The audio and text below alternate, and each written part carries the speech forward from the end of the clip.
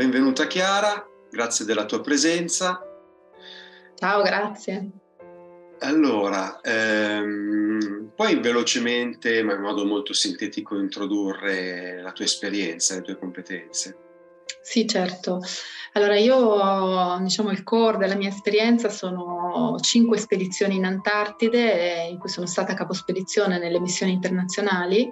È un'esperienza che ho fatto nell'arco di 15 anni, quindi 15 anni sono stata comunque legata alle spedizioni in Antartide. Ho iniziato giovanissima, subito dopo la tesi di laurea, e queste esperienze mi hanno dato come una, una visione diversa del mondo, soprattutto un'esposizione all'imprevisto in maniera permanente. Questo è un po' diciamo, la sintesi, se dovessi sintetizzare in una parola, due parole, l'esperienza antartica è questo, proprio un allenamento ad avere a che fare con l'incertezza, ad avere a che fare con, con l'imprevisto. Eh, perché le, le, basi in Antartide sono veramente un concentrato di mondo, sono imprese collettive, quindi ora condivido questa mia esperienza con, con le aziende, con, con le persone che, che, sono interessate a capire come un essere umano si confronta con l'incertezza, o meglio si può articolare con l'incertezza super interessante perché le situazioni estreme fanno emergere delle cose che normalmente magari non si vedono mm. così facilmente. Ok, partiamo con sì, la sono, sono delle esperienze accelerate. Eh, l'estremo è proprio un'esperienza accelerata nello spazio-tempo, concentrata nello spazio e accelerata nel tempo, per cui puoi vedere delle dinamiche che normalmente ci sfuggono nella nostra vita. Chiarissimo. Partiamo. Allora, la prima domanda è sempre la stessa per tutti in questo format ed è questa. Qual è il filo rosso, la domanda di fondo che sin da quando eri ragazza guida la tua ricerca professionale e prima ancora personale?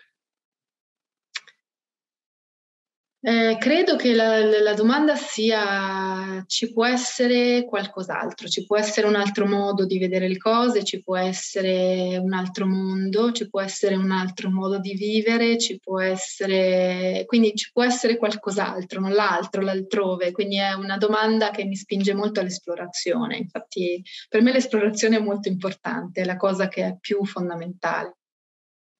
Ok, molto interessante, quindi uno slancio di non accontentarsi di quello che c'è, è uno slancio eh, sia evolutivo, immagino, ma sia anche in qualche modo, eh, potremmo dire, trascendente, cioè nel senso non di metafisico, nel senso di trascendere l'ordine e le logiche attuali. Insomma. Sì, sì, è, è, è assolutamente uno sguardo sull'oltre, cioè oltre l'apparenza cosa c'è, cioè oltre quello che io vedo cosa c'è.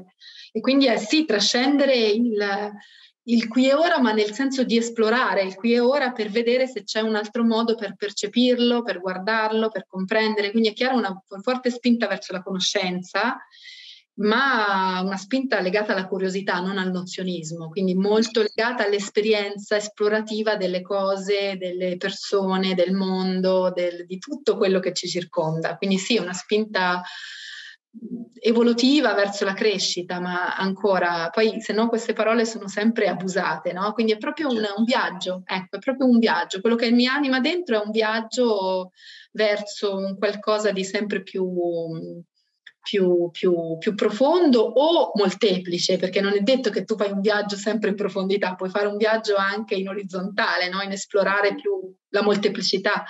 Quindi ecco, è proprio il viaggio nell'esplorazione. Ok, allora la seconda domanda è questa. Ci puoi descrivere il rapporto tra il pensiero della complessità e le skills, le esperienze più importanti che hai maturato nelle spedizioni antartiche? Beh sì, c'è un fortissimo legame tra la complessità e il navigare l'incertezza che poi è il tema dell'Antartide, perché io sono arrivata, com- come dicevo, come accennavo prima, sono arrivata in Antartide molto giovane, subito dopo la tesi di laurea e io ho fatto una laurea in ingegneria, cioè ho fatto un percorso in ingegneria civile, quindi avevo un approccio molto pragmatico, molto organizzato, molto strutturato, insomma ero stata molto addestrata sulla previsione, l'organizzazione, insomma la, la, tutto, tutti i meccanismi dovevano, quindi avevo una visione anche molto meccanica delle cose. E, ehm, meccanicistica, insomma, come approccio.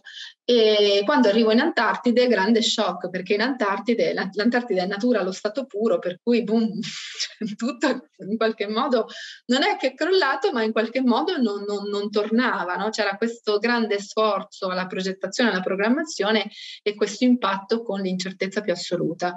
Um, le spedizioni in Antartide sono, sono delle vere imprese collettive, no? quindi per esempio nella base più estrema dove sono stata, che è la base Concordia, che si trova a 4.000 metri di altitudine, sono 4.000 metri di stratificazione di ghiaccio perché siamo proprio in cima alla calotta polare. Eh, siamo a 1.200 km dalla costa, quindi all'interno del continente completamente isolati, ci dobbiamo produrre l'elettricità, l'acqua, insomma è, è un ambiente in cui la base è completamente autonoma, come una navicella spaziale nello spazio e le temperature sono tra i meno 50 gradi in estate e meno 80 in inverno, quindi sono assolutamente il luogo più freddo estremo del pianeta. I progetti da realizzare sono moltissimi perché ci sono circa 80-70 persone, dipende un po' dalla stagione. Metà team è fatto di tecnici che si occupano del funzionamento della base, l'altra metà è fatto di ricercatori che arrivano da diverse discipline oltre che da varie parti del mondo e ci sono progetti di astrofisica, di, eh, di glaciologia naturalmente, no? il ghiaccio viene estratto, il ghiaccio sotto la base Concordia risale per esempio a 800.000 anni fa, quindi questo significa che ci sono, eh, ci sono 800.000 anni di andamento climatico, sì, di informazione registrate là. E, ehm, quindi ecco, ci sono tanti progetti da portare, da portare, a termine in uno spazio molto breve, perché lo spazio sono i tre mesi della spedizione in Antartide, della spedizione estiva, quindi da novembre fino a fine gennaio. Eh, perché poi in inverno la base rimane aperta, ma sono per lo più attività di manutenzione, di osservatori, insomma, di piccole, piccole osservazioni si fanno, ma insomma, principalmente le, le attività si fanno in estate. E eh, io appunto sono arrivata lì come ingegnere subito dopo la laurea. Ho cominciato a lavorare per, per, l'organizzazione allora italiana che si occupava delle spedizioni in Antartide e mi occupavo eh, di fare le, le, interfacce, cioè mi occupavo del, del tradurre diciamo, in termini tecnici tutte quelle che, re, che, erano le esigenze dei vari ricercatori. Mm-hmm a, a, alla logistica. E quindi ho fatto una gavetta abbastanza ampia no? queste, tra, tra, i vari scienziati, le varie attività che si facevano e i vari eh, impedimenti, che così li vedevo, che erano in qualche modo i vari ostacoli che erano proposti dall'Antartide, perché appunto i materiali non erano testati per vivere in quelle temperature, per lavorare, per operare in quelle temperature, eh, lo stress fisico è molto elevato, a volte su, capita l'imprevisto per cui ti scordi un pezzo diventa un problema perché devi comunque realizzare il progetto, non è che te lo puoi fare mandare, è molto raro che tu riesca a fartelo mandare in tempo utile. In più ci sono tutta una serie di imprevisti legati proprio all'Antartide, all'ambiente estremo, quindi il mezzo che si rompe perché la temperatura è troppo estrema, eh, passiamo su un crepaccio e succede un problema, eh, ci sono crescere, insomma su- succedono anche delle cose o arriva il cattivo tempo all'improvviso non te lo aspettavi nonostante le previsioni. Quindi è un ambiente altamente imprevedibile e come ingegnere questo è stato uno shock, no? quindi la prima cosa che mi sono detta, poi sono diventata anche capo spedizione, è ancora più complicata la cosa, no? perché il capo spedizione è come il capo della nave che deve portare a casa tutti questi progetti in un ambiente estremo, altamente cangiante e con un team molto variegato, perché poi a quel punto si è, si è si è unito anche l'elemento umano, no? quindi quanto imprevedibile anche l'elemento umano, anche se siamo addestrati, insomma tutto quello che vuoi, motivati, tutto quello che vuoi, ma si creano comunque situazioni conflittuali, situazioni problematiche ehm, o situazioni anche di, di, ordinaria gestione che comunque non sono così ovvie, no? quando le discipline sono diverse, le menti devono essere integrate e magari non, non vedono le cose nello stesso modo. Quindi questo problema mi ha portato a esplorare eh, tutte le tecniche del management, quindi perché la prima cosa che mi sono detta, ok, il problema sono io, sono un ingegnere civile, non capisco nulla di management, quindi il tema non è che io non, cioè il tema del io non so gestire una spedizione in Antartide è legato al fatto che io non conosco le tecniche di management. Quindi c'è stato un approfondimento delle tecniche ingegneristiche dalla quale sono riemersa con un master al Politecnico di Milano, insomma due anni di assegno di ricerca, eccetera, dalla quale sono riemersa mm. con grandissimi strumenti, quindi avevo tanti più strumenti di prima da poter utilizzare in campo, che però non erano sufficienti, no? Mi mancava qualcosa. E lì sono entrata poi in questa ricerca di trovare questo qualcosa che non sapevo che cosa, sono approdata alle scienze della complessità. Perché le scienze della complessità? Ho fatto questo lungo preambolo perché altrimenti non è chiaro il nesso. esatto, perché l'Antartide propone in maniera concentrata e eh, appunto nel tempo e nello spazio, perché siamo tutti lì, nel, noi operiamo nella, nel raggio di due chilometri dalla base, perché con meno 50 non è che vai tanto lontano, anche se poi abbiamo connessioni con le basi, eccetera.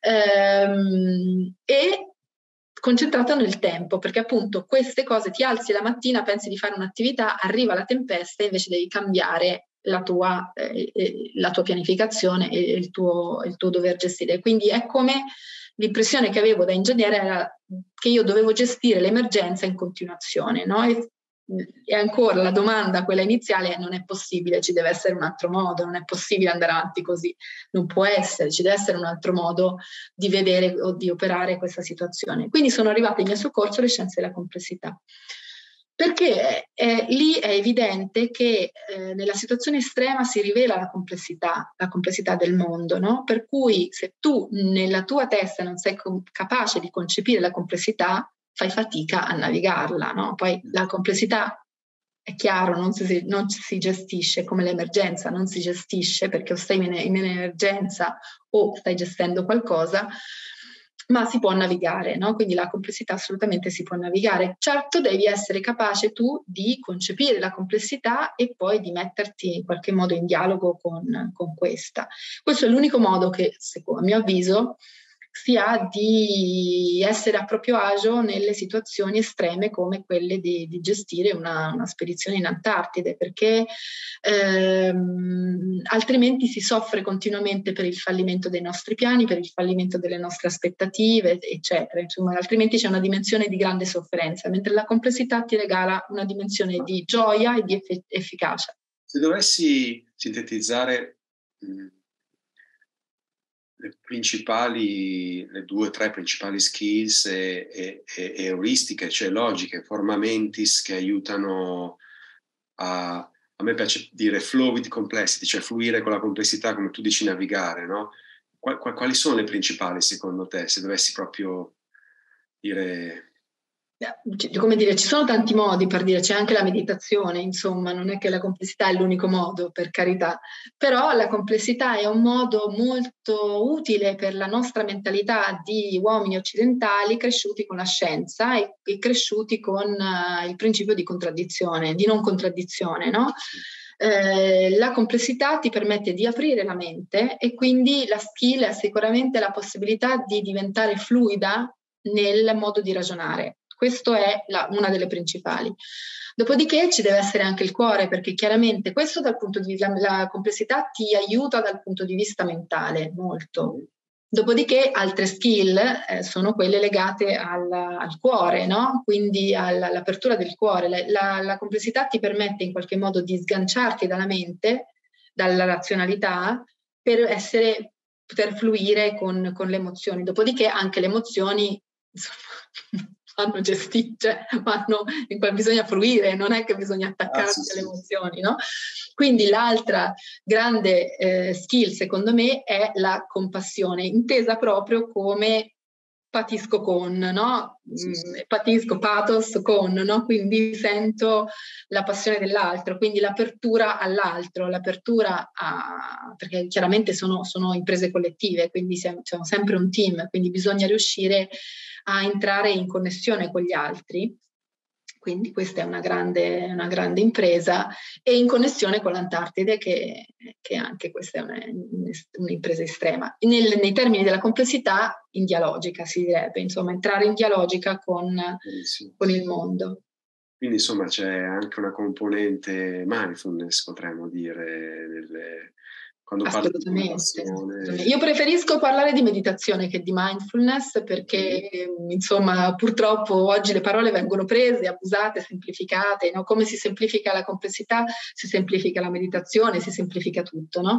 E, però sì, assolutamente, io credo che, che sia insomma, una tecnica, le, le tecniche di meditazione, qualunque esse siano, siano fondamentali per per supportarci nella nostra esplorazione e, e dialogo con il mondo. Eh, l'eccellenza non può prescindere da una costante evoluzione anche interna dei propri meccanismi, delle proprie credenze, di uscire dalla propria comfort zone, di ogni missione di continua curiosità.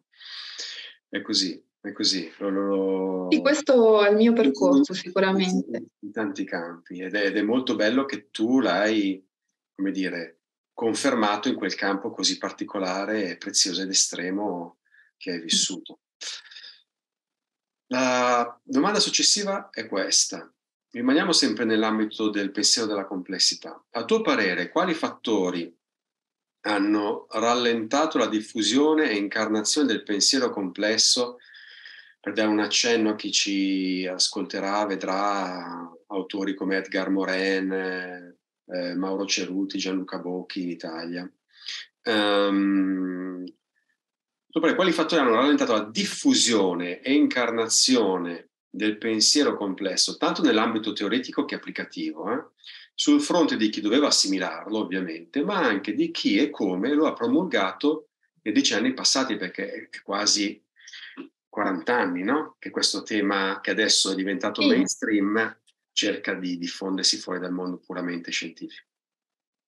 Ma allora, rispetto, parto al contrario, diciamo, rispetto a chi lo ha promulgato, mm, non ho niente, cioè sono proprio amici maestri, soprattutto Edgar Moren, Gianluca Bocchi e Mauro Ceruti, insomma, sono veramente... Eh, io quando li ho incontrati, io dico sempre che la complessità mi ha salvato la vita perché ero proprio in, in in un, in un, rapporto non proprio amorevole con il mondo, perché non mi tornava, cioè io da, da, da sempre non mi tornava. Poi l'esperienza dell'Antartide è stata in qualche modo l'estremo la conferma, ma da sempre c'era qualcosa che non tornava in, in, come venivano raccontate le cose, no? Quindi quando ho incontrato loro ho fatto, ah, finalmente. E, um, il, il, tema è che, eh, quindi non, non, dal, dal, loro punto di vista non credo che abbiano fatto degli, dire, degli errori o di qualcosa per, per rallentare il processo di, di, di ascolto. No? Sicuramente come tutti i pionieri in qualche modo eh, è normale che ci sia, ci sia un certo, un certo, ci vada un certo tempo affinché quando uno ha una visione poi gli altri possano comprenderla. Quindi diciamo un po' come gli artisti, insomma quando sono un po' troppo avanti rispetto ai tempi ci vuole un po'. Quello che ha rallentato nel mondo è semplicemente che la previsione funzionava, in un mondo stabile la previsione funzionava, in un certo dominio la previsione funziona, quindi finché noi ci siamo in qualche modo mm, seduti su un, un, mondo fatto di abitudini e di cose che si ripetono più o meno sempre uguali, e non me le voglia chi, chi teme l'incertezza, ma io ho una relazione d'amore con l'incertezza, eh, quindi per dire, negli anni 90 io ero abbastanza scomoda, veramente ero ragazzina, ma ero proprio scomoda, non mi tornava, no? Perché c'era qualcosa che, che non, non, non, non, in qualche modo l'abitudine ha come, o la routine ha, ha come conseguenza che spegne la tua vitalità. Quindi io sentivo più la, lo spegnimento della, della, vitalità che il comfort provocato dal fatto che comunque ci si può contare che domani si fanno le stesse cose, eccetera. No? Quindi questo dipende un po' dalle nostre sensibilità. Prevaleva il desiderio. L'abitudine non ha niente di male. Eh? Mm, Prevaleva il desiderio di sicurezza rispetto all'espansione della creatività. Esatto, cioè per me prevaleva l'espansione e la creatività, mentre qualcun altro può prevalere il bisogno di sicurezza. Diciamo che la sicurezza non c'è niente di male, eh, è semplicemente che comunque riduce la nostra vitalità, la, vitalità, vitalità. Ci vuole un equilibrio, se no prevale la paura.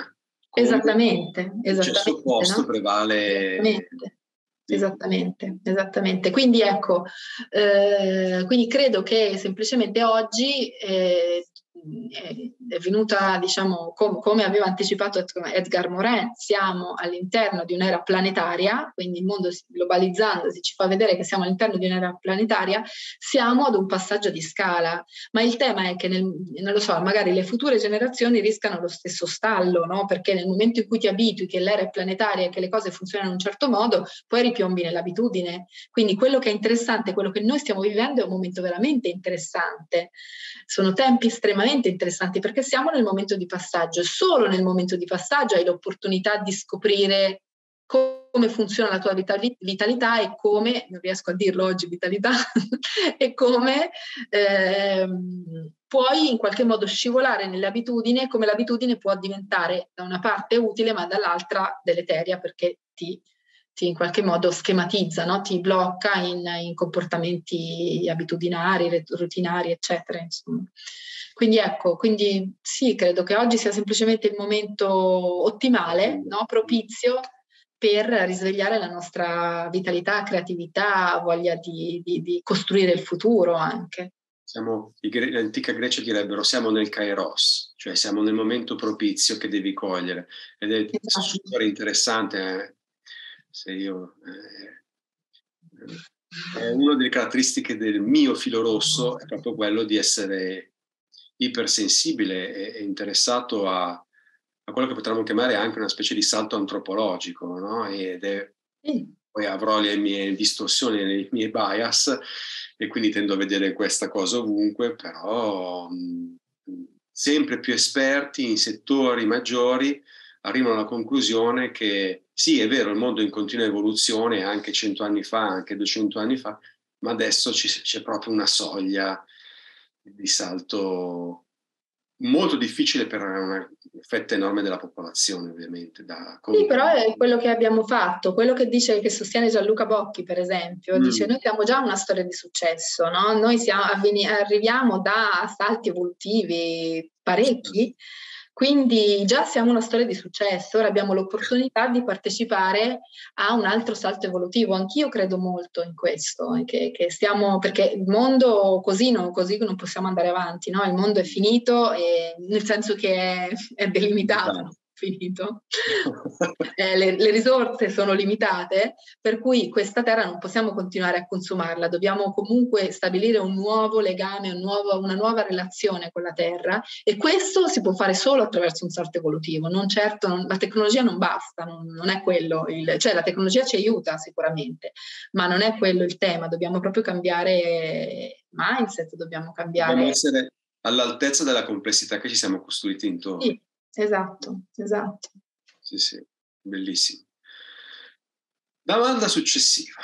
Sembra un po' di essere Mac Buongiorno. Allora. no, dialogo. Quali sono le principali resistenze e rischi che hai incontrato nella maturazione dei team e dei leader? Quali sono le principali eh. resistenze, difficoltà, cecità, distorsioni, possiamo dirle in tante maniere? Ma diciamo che la risposta sintetica sono quanto ci piacciono i giochi di potere. Questa è proprio la risposta più sintetica, sia per leader che per membri del team, eccetera. No? Quindi noi siamo proprio, che poi sono dettati dalla paura principalmente, in realtà non è che ci piacciono veramente, alla fine, almeno nella mia esperienza, non, non mi sembra tanto. Eh, quindi paura e quindi potere, no? paura, potere, paura, potere, paura, potere. Questo porta a una serie di tantissime distorsioni, no? quindi dal punto di vista del, del team porta a ehm, voglia di prevalere, voglia di no, prevalere sugli altri, avere più riconoscimento degli altri, avere più, che ne so, no, più più ragione degli altri eh, o essere più speciali degli altri, quelli che ne so, io lavoro, ho lavorato anche tanto, poi ho lavorato anche nelle aziende, ho lavorato tanto anche con i team eh, legati all'innovazione dove ci sono poi i geni, no? i geni sono meravigliosi, a me stanno tanto simpatici e spesso il genio ha questo tipo di atteggiamento un po' adolescenziale ma anche simpatico del io faccio come mi pare, no? dove voi andate di là e io vado di là, ma in cose molto no? anche inutili, però insomma c'è questa posa no? che è anche un po' è come una cifra artistica, quindi può essere anche divertente. A volte questo poi nel team, in quelli che magari invece hanno un altro tipo di atteggiamento più, più, più insomma, proattivo, più anche eh, integrato con, con, il gruppo, può dar fastidio. Quindi queste possono essere ehm, eh, i, i, giochi, appunto giochi di potere, giochi legati al, al, al, al No, l'affrontare l'autorità, il rapporto con l'autorità, insomma, cose di questo tipo. Dal punto di vista dei leader, il gioco di potere è assolutamente molto più deleterio rispetto al team, perché nel team poi ci giochi e lo puoi integrare. Dal punto di vista del leader, eh, che già ha una posizione tra virgolette, di potere, in realtà poi la leadership per me è, il leader è semplicemente una persona che ha come funzione la facilitazione delle interazioni tra le persone e tra le persone e la situazione. Questo è, no? è, crea, come un direttore di orchestra, deve creare un'armonia che funziona in quel, in, con il suo stile, insomma anche, anche, lì poi si parla di stile, di modelli di leadership, ma di fatto insomma poi ognuno deve usare lo stile che gli è più adatto, la cosa importante è che sappia usarne più di uno, insomma che riesca a muoversi, che riesca a essere fluido anche nel ruolo di leader. E la resistenza, insomma, le, le, le, distorsioni peggiori sono quando appunto il leader deve in qualche modo usare dei giochi, cioè giocare dei giochi di potere. No? Lì allora diventa più difficile perché questi giochi di potere si possono incarnare in vari modi, dalla per esempio, ora se ne parla moltissimo della questione della presenza, quindi tu devi essere presente fisicamente, poi non ci sei perché non sei presente nel tuo corpo, ma quello non lo guardiamo, guardiamo solo la presenza del corpo, no? Che è anche lì molto cosa ci fai con un corpo disabitato? Non ci fai assolutamente niente. E, um, oppure possono essere appunto dei, dei, questa voglia di eh, comandare, no? quindi do, ti dico cosa devi fare e eh, ti brontolo come se fossi un padre o come se fossi una madre. Eh, poi ci sono anche lì donne e uomini hanno stili di leadership diversi, diversi no? quindi più patriarcale, più matriarcale, ma comunque sono distorsioni. Anche la madre che ti coccola troppo, ma anche no, non sono mica tre anni, no? quindi, quindi ce ne sono tanti, ma sono sempre comunque giochi di ego, giochi di potere. Invece di guardare l'altro, ascoltare l'altro, capire cos'è che l'altro ha da dare come talento, ha da mettere al servizio rispetto a quel progetto e valorizzare quella cosa lì, non tanto cosa sei interessato te. Chiaramente cioè, il leader è portatore di una visione d'insieme, di un'armonia, ma poi secondo me un buon leader è capace di valorizzare il talento individuale, proprio per aiutare le persone a metterlo in servizio. Allora, passiamo alla quinta domanda, proviamo ad allargare adesso, prenderci l'onere di allargare il discorso. E ti chiedo questo, quali sono le principali distorsioni e mancanze nella nostra cultura e modello di adulto che modificheresti alla luce della tua particolare esperienza, de- eh, aggiungendo anche cosa dovremmo avere il coraggio di dire e fare con più efficacia e decisione viste le sfide future. Quindi lo metterei questo in relazione all'accelerazione delle sfide. Ma forse dovremmo, anche lì non c'è niente di sbagliato nel, nel, modello di adulto, c'è qualcosa da capire sul tema del modello, cioè quello è il tema, no? qualsiasi modello in un certo senso è una distorsione, perché poi un, un, modello è qualcosa fatto a priori, quindi quando poi arrivi, arriva la novità arriva la realtà, il modello fa attrito con la realtà, no? quindi più che altro è quello.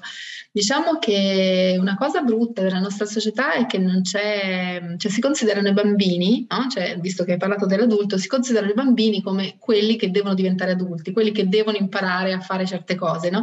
In realtà molto spesso i bambini sono molto più saggi degli adulti, quindi forse l'adulto dovrebbe recuperare quella curiosità, quella voglia di esplorare quella voglia di essere sempre nuovo che ha un bambino, la presenza di un bambino. È anche vero che in qualche modo il passaggio dell'essere adulto è un passaggio da fare proprio per perdere questa spontaneità per poi recuperare un passaggio di, di, di, di consapevolezza, quindi tornare bambini dopo aver fatto il passaggio adulto e quindi recuperare una consapevolezza diversa rispetto all'ingenuità, se vuoi, di quando siamo bambini. E, ehm, rispetto alle grandi sfide, noi siamo troppo ancorati, secondo me siamo troppo mh, veramente come se fossimo aggrappati, incrostati alle nostre, alle nostre certezze. Dovremmo riuscire a, a, sciogliere le certezze perché non, così non, le sfide che ci aspettano non, cioè rischiano di romperci. No? Invece se io sono fluido riesco invece ad articolarmi con la realtà. Quindi quindi le sfide che ci aspettano sono grandi, sono una grande occasione, come detto prima, per risvegliare la nostra vitalità, ehm, per risvegliare la nostra creatività e per sciogliere tutte queste certezze che in realtà non hanno ragione di essere nella, nella vita. No? Quindi per, per, ributtarci nella vita con, con, con più gioia. Ecco. la mancanza di gioia è la cosa peggiore che, che non abbiamo. Cioè, nella nostra società in qualche modo la, la gioia viene sempre repressa, anche il tempo libero viene schematizzato perché così tu non puoi avere gioia, no? Quindi il recupero della gioia. Interessante, guarda. Eh, parlando da un punto di vista psicologico, eh, per riuscire a mettere in discussione la propria identità, le proprie credenze mm. fondanti, quel, quel punto a cui dici che siamo così eccessivamente attaccati perché ci vuole un minimo di confine di riferimenti. Certo. Eh, spesso è difficile quando il soggetto in realtà ha un io fragile, in parte ferito, ma è completamente sviluppato, no? E allora quella sana, messa in discussione, ma che non è una discussione del, del suo valore, della sua amabilità, della sua identità, viene più o meno consciamente e inconsciamente vissuto come apocalittico. Quindi si passa come a vivere quella sana fluidità, viene vista come un rischio di distruzione, no? Mm. E quindi un eccesso di paura. Probabilmente la mia ipotesi è che il modello di adulto, eh, oltre ovviamente all'alfabetizzazione, saper leggere e scrivere, saper stare nel mondo, instaurare un minimo di relazioni, eh, è un incremento di quelle capacità di metacognitive, di osservazione di sé, relazionali, emotive, eh, che sono quelle che poi condizionano la gran parte del modo in cui interpretiamo noi stessi, il mondo, le scelte che facciamo. Quindi siamo dal punto di vista eh, logico, linguistico, di conoscenze astratte in terza persona, super evoluti, potentissimi, velocissimi, forse anche troppo rispetto all'altra parte che è fatta di capacità di stare con l'emozione, capire chi si è, cosa vuoi, qual è, come essere più resiliente nelle difficoltà e questo sta creando un cortocircuito perché nel mentre l'altra forma di intelligenza del problem solving astratta eh, continua ad accelerare. Continua certo, certo. È uno strumento molto potente, però hai detto molto bene, cioè la, chi lo usa non è all'altezza dello strumento che utilizza, proprio perché poi chi lo usa è fatto di emozioni, è fatto di tutte quelle cose che tu hai elencato, quindi quelle devono svilupparsi allo stesso, allo stesso livello, altrimenti mi viene in mente una frase di un grande yogi, non, non, non mi ricordo chi, chi era, ma avevo, l'avevo letta da qualche parte, che quando è stata sganciata la bomba atomica ha detto ecco i bambini hanno imparato ad usare i cerini. Quindi più o meno il senso è quello, no? stiamo sviluppando degli, degli strumenti super evoluti ma non ci evolviamo allo stesso tempo dal punto di vista della coscienza e della consapevolezza di cui le emozioni assolutamente fanno parte. Eh, eh certo.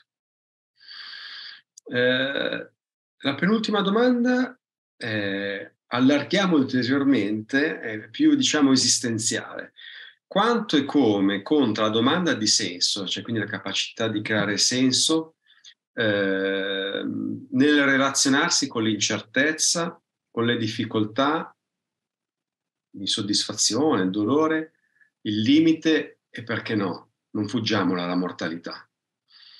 No, assolutamente, anzi, la morte è una grande compagna di viaggio, soprattutto nelle, nelle, nelle, nei viaggi estremi, altrimenti eh. non, non, è estremo se non c'hai la morte come compagno di viaggio. Morte fisica o metafisica, insomma, in qualche metaforica. Ehm, ehm, sì, la creazione di senso è un tema è il motivo che ci spinge a esplorare, no? Non sei soddisfatto del senso che trovi e cerchi altrove, cerchi di, cercare, cerchi di trovare altro, cerchi di espandere questo senso. Dal punto di vista, diciamo, molto terreno, la creazione di senso è quello che crea la motivazione, cioè noi mm. banalmente non ci muoviamo, in un team per esempio se non crei un senso non, non riesci a creare quell'armonia di cui parlavo prima, devi, devi essere anche un po' un mago, un, storyteller, una, ma, ma, in senso positivo, non, mm. per me lo storytelling purtroppo anche quello viene, viene, in qualche modo distorto, si vede lo storytelling come tecniche di vendita o come no, manipolazioni varie, no La creazione di senso è creare una storia che in qualche modo compatta il team, che ci spinge tutti nella stessa direzione, no? che coinvolge, che, che, una storia alla quale voglio partecipare, questo è un po' il senso, no? Quindi crea quel motivo per cui le persone poi partecipano. Questa è una cosa che tra l'altro tra i giovani è molto sentita. Io sento sempre più spesso giovani che entrano anche nel mondo del lavoro e hanno forte questa idea che quello che fanno deve avere un senso per loro, no? deve essere in qualche modo in, in, allineato a quel loro sentire.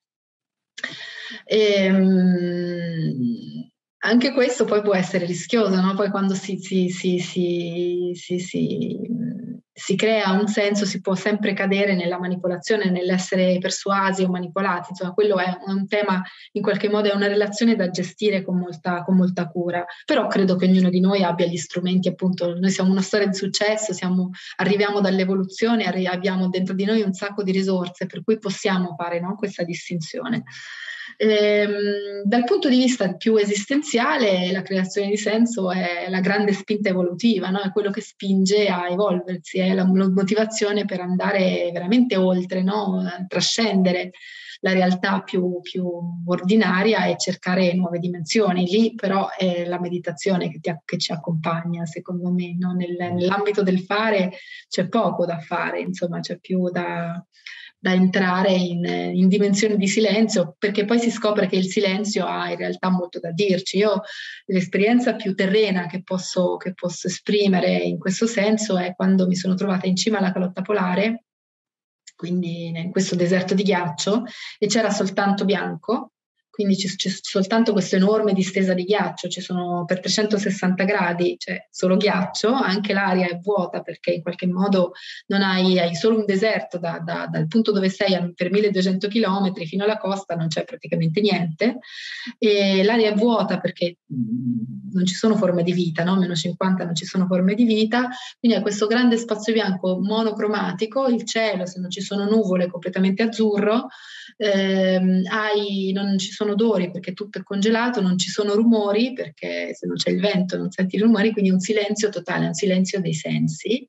E immerso nel silenzio dei sensi, la, cosa che, la prima cosa che scopri è la quantità di energia che hai a disposizione. Cioè noi abbiamo una enorme quantità di energia che normalmente nelle nostre esperienze ordinarie viene in qualche modo catturata via da, dai vari stimoli, dai vari oggetti, dalle varie cose che guardiamo. In realtà c'è la possibilità di recuperarla e quando la recuperi allora sei pronto per un altro viaggio, insomma, ed è, diciamo, essere calati in una dimensione del genere è mh, mm, uno shock che però ti apre altre, altre possibilità, insomma. Quindi ecco, ehm, per tornare alla, al tema principale sulla creazione del senso, il, il, voler cercare un senso è la nostra grande chiave di, di, di esplorazione, il nostro grande motore. Guarda, è una bellissima immagine quella che hai dato. Secondo me la crisi nichilistica in cui viviamo come società occidentale, anticipata ai tempi da Nietzsche, ma insomma che poi si è evoluta ulteriormente, non è tanto definibile come un prendere atto che non c'è un senso, non c'è nulla, ma secondo me io la, la definirei così, è una crisi di messa in relazione col mistero. Non che abbiamo già risolto il mistero e abbiamo scoperto che in realtà era un semplice enigma e abbiamo scoperto che non c'era nulla. Anche perché se pensi anche alla fisica, quel vuoto non è detto che sia un nulla, ma è la sorgente da cui tutto origina. No? Quindi la capacità di andare a ritroso dentro di sé, come dici tu, facendo silenzio, smettendo di chiedersi a livello esistenziale eh, soluzioni o forme di senso ordinarie che vanno bene nella vita pratica quotidiana. Ma quando ci si chiede qual è il senso del tutto, non si può usare quelle logiche lì. Eh no. Va a ritroso dello sguardo consapevole che, che poi è...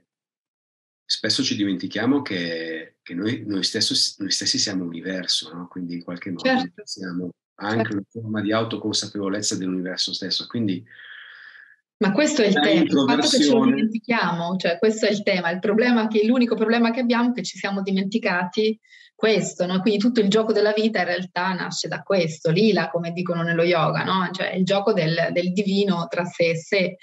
Però questa è un'esperienza, dobbiamo farla, singolarmente ognuno di noi deve farla questa esperienza. se no rimane teorico. E...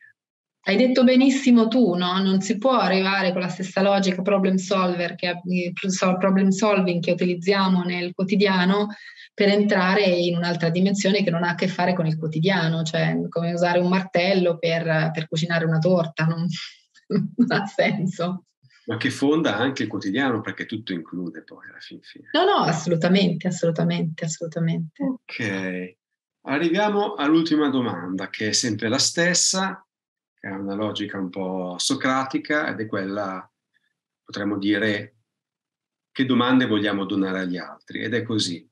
Per trovare migliori risposte dobbiamo prima porci migliori domande ma per porci migliori domande prima dobbiamo fare i conti con i nostri pregiudizi che le fondano. Quindi, quali domande suggeriresti, doneresti a chiunque di porsi prima o poi nella vita? Ma eh, per quanto mi riguarda, il grande, mm, il grande, aiuto che ho avuto era la volontà di sfidare le mie contraddizioni, cioè il fatto di riconoscere dentro di me delle contraddizioni e di sfidarle e di cercare di, di, di, di risolverle, no? Mm e questo mi ha dato una grande, una grande spinta per esplorare i pregiudizi, perché il tema, hai detto benissimo, il tema, il problema principale sono i nostri pregiudizi. Allora vanno esplorati in modo tale da poterli poi dissolvere, perché è inutile sostituire un pregiudizio con un altro, no? Quelle fa parte delle soluzioni New Age, soluzioni semplici, ma che non portano da nessuna parte, che sono esattamente l'estremo opposto dell'estrema razionalità in realtà, sono la stessa identica cosa mm, un po' come la teologia, e le, le, cioè come le, non la teologia, ma l'essere credenti o l'essere non credenti, esattamente la stessa cosa, cioè in realtà devi fare un'esperienza, altrimenti entrambe le cose lasciano, lasciano, il tempo che trovano. Se tu hai l'esperienza della fede è un'altra cosa, ma il, cre- il credere o il non credere è esattamente una polarità che non ha senso di essere.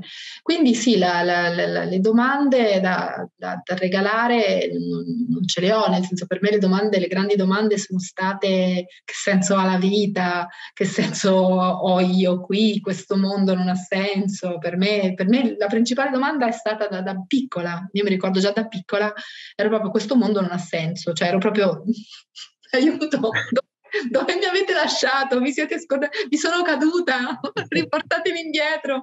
Cioè, ero proprio abbastanza sconvolta perché non lo capivo, ma non perché non avevo un astio nei confronti del mondo, semplicemente non avevo, cioè per me, cioè, sono tutti pazzi, no? Sono pazza io.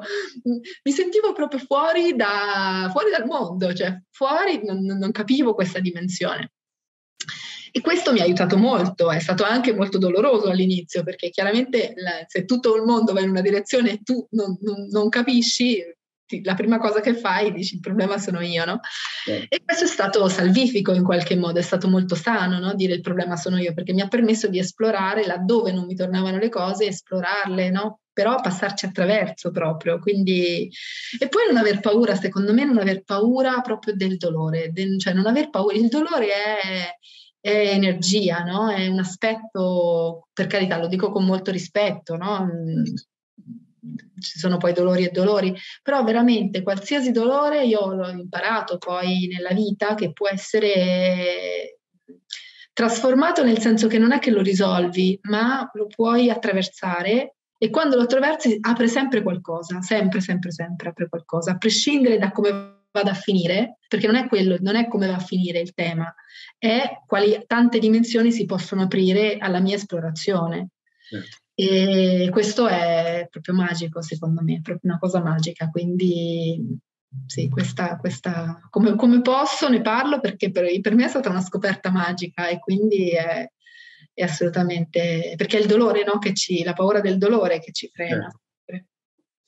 Eh, è bellissima questa tua che eh, emersa in diverse tue risposte nelle varie domande, un questa tua attitudine di questo slancio che è più l'attrazione verso la scoperta, l'interrogazione, per quanto incerta, dolorosa, ehm, che può creare paure varie, riesce a bilanciare e a volte superare eh, invece il bisogno di chiudersi, preferire la certezza magari sbagliata rispetto all'incertezza ma che cerca la verità. E questo è veramente molto prezioso da augurare a quantomeno a tutte le nuove generazioni no? di coltivare questa attitudine. Poi c'è chi ce l'ha innata, c'è chi la può scoprire, magari Secondo me sì, ce l'abbiamo tutti, mm. assolutamente, mm. ce l'abbiamo tutti. Dobbiamo solo risvegliarla in qualche modo, perché è una cosa, è proprio una cosa di, di, bambino, per cui per forza ce l'abbiamo, capito? Tutti siamo passati lì, poi ce la siamo scordata. Ma ti racconto una metà, una, un piccolo aneddoto veramente velocissimo. Mi è capitato di svenire ed ero in metropolitana, ero a Londra in metropolitana e mi è capitato di svenire, ho avuto a un certo punto un forte dolore al rene, fortissimo, nella zona del rene, e ancora non sapevo nemmeno che lì ci fossero i reni, per dire, già tanto tempo fa. E, ehm, e sono svenuta, no? E mi sono resa conto mentre stavo svenendo, la mia mentalità logico da capo spedizione, ho detto ok Chiara, sta succedendo qualcosa, io non ero mai svenuta, no? Però avevo capito che stavo per svenire, non so come, e ero in piedi e vicino alle porte. Ho detto se mi si aprono le porte io svengo, mi succede un incidente. Quindi mi sono spiaccicata proprio al vetro di separazione che separa quelli seduti da quelli in piedi vicino alle porte. Non c'era un vetro. E poi sono svenuta e, l'unica cosa che ricordo è che ho incrociato lo sguardo di una persona che era lì eh, che probabilmente mi ha visto impallidire perché è stato molto improvvisa questa cosa. La seconda cosa che ricordo quando mi sono ripresa, in qualche modo, quando sono tornata cosciente, è questa persona che mi tira su e mi fa sedere su una, su una sedia. Ecco, in quel momento lì io mi sono resa conto che mia, io non avevo la capacità di fare assolutamente niente, solo aprire gli occhi, cioè io avevo l'energia per aprire gli occhi, tutto il resto del corpo era come se non ci fosse per me. No, la, la, cosa buffa è che non è che ho cominciato a pensare cosa mi sta succedendo, sto per morire, avrò una malattia grave. No, la cosa più bella, cioè secondo me era una cosa bellissima, cioè io mi sono cominciata a dire no, ma bellissimo, ma io eh. Io non posso, però guarda, muovi la gamba, muovi la gamba, la gamba non si alza. No, bellissimo, perché sentivo che io c'ero, ma non avevo il contatto con il corpo, no? Però io c'ero, c'era quello il tema, mi sono focalizzata sul fatto, ma come io ci sono, e però non ho contatto con il corpo. Ora, questa esperienza può anche spaventare. Certo. A me è proprio venuto naturale di esplorarla, no? E, e, e, questo è un po' emblematico di qualsiasi esperienza la possiamo vedere così, come qualcosa di nuovo ripeto, noi ci siamo, siamo lì, siamo presenti. Quando qualcosa di brutto sta accadendo, noi siamo presenti. Noi ci possiamo focalizzare sul fatto che noi esistiamo, siamo lì presenti e quindi facciamo delle cose, oppure che ci può succedere, può essere questo, quest'altro, le cause, eccetera. E a quel punto disperdiamo via l'energia, no? va, va, via e non, non, non viviamo appieno l'esperienza. Mm-hmm. Questa è assolutamente la sintesi anche di quella che io chiamo l'Antarctic Mindset, no? que- questa esperienza di Antartide poi mi ha, mi ha, mi ha detto ok, questa esperienza eh, fatta nelle spedizioni estreme mi può, può, essere utile anche agli altri, ho, deciso di condividerla, no? proprio per, per essere efficaci nell'incertezza. E il succo di questo, dell'essere efficaci nell'incertezza, è proprio la presenza, no? essere lì in quel momento in cui sta succedendo questa cosa senza farsi distrarre dagli scenari, dagli strumenti, da quello che non doveva succedere, da come mai è successo, da che dolore che provo. Insomma, cioè essere lì, provo dolore, dove lo provo? Come lo provo? Cioè, cosa, cosa sto vivendo? Dove sono io in quel momento? Questo ci porta poi ad essere creativi, no? E quindi poi a molto spesso a uscire dalle situazioni critiche. Bellissimo, bellissimo. Va bene, grazie tante per la, la, tua disponibilità, per aver condiviso queste tue esperienze anche personali. Io sono sicuro che saranno molto interessanti per chiunque guarderà il video. Ma grazie a te, le domande erano veramente molto belle e grazie anche per, per, per lo scambio, no? perché hai detto delle cose veramente molto belle. Grazie, è stato molto bello. Alla prossima, ciao. Grazie, ciao.